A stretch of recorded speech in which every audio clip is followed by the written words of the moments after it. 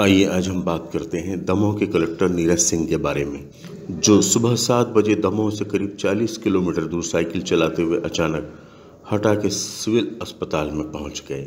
अस्पताल में अनियमितताएँ मिलने पर उन्होंने अधिकारियों को फटकार लगाई और व्यवस्थाएँ सुधारने के निर्देश दिए। उन्होंने अस्पताल के अन्य वार्डों का निरीक्षण भी किया। हाफ़ पैंट और टी शर्ट में अचानक पहुँचे कलेक्टर को देख स्वास्थ्यकर्मी हैरान रह गए। जब कलेक्टर अस्पताल पहुँचे तो संक्रमित दवाइयाँ, इंजेक्शन, बॉटल के ढेर लगे मिले। इस पर उन्होंने नाराज़गी ज़ाहिर की।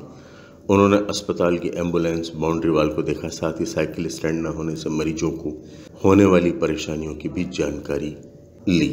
कुल मिलाकर, नीरज सिंह साइकिल से अचानक निरीक्षण करने के मामले में प्रसिद्ध हो गए हैं।